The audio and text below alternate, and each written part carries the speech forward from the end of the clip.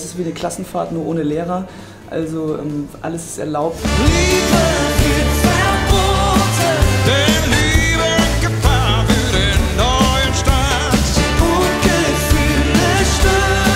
Ich wollte, dass Peter einfach die großmöglichste Freude an dem Song hat, wo er sich selber auch sieht. Und das war eben der Song so schön. Es ist so schön,